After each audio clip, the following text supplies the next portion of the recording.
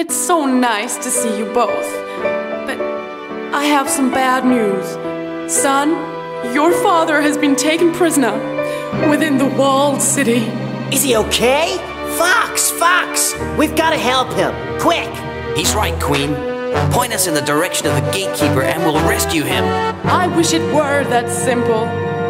You see, Tricky's father is the gatekeeper.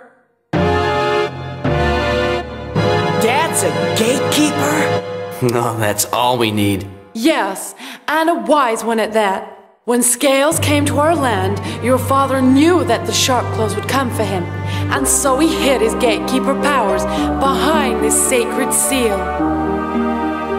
I'm sorry, but I cannot break the seal.